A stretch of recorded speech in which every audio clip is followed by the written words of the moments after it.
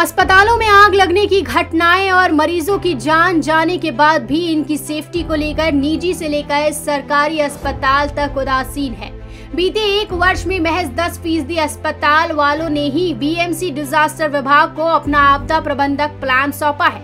शेष अस्पतालों द्वारा रुचि नहीं दिखाए जाने पर बीएमसी अब इन्हें दोबारा नोटिस जारी करने वाली है। बता दें कि बीते 24 महीनों में मुंबई सहित राज्य के 6 से अधिक अस्पतालों में आग लगने की घटनाएँ घट चुकी है। इसमें 55 लोगों की जान जा चुकी है। अस्पतालों से होने वाली इन अप्रिय घटनाओं को टालने के लिए बीएमसी प्रशासन ने सरकारी बीएमसी और निजी अस्पतालों को डिजास्टर प्लान तैयार करने का आदेश दिया था।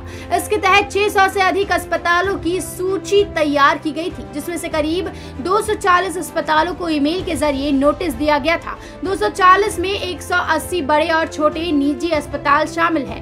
बीते वर्ष फरवरी में उप नोटिस भेजा गया था। इस नोटिस के साथ बीएमसी ने डिजास्टर प्लान का मसौदा भी भेजा था।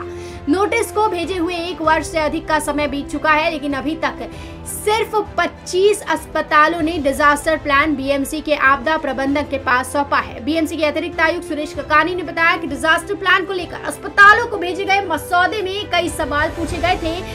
इसमें अस्पतालों में आपदा के समय बाहर निकलने के लिए वैकल्पिक व्यवस्था अग्निरोधक यंत्र को चलाने के लिए स्टाफ को ट्रेनिंग, मॉक ड्रिल, हादसे के पहले सूचना प्रणाली आदि शामिल थे। इन मसौदे के आधार पर प्लान सौंपने का आदेश दिया गया था। Bureau report, metro Mumbai.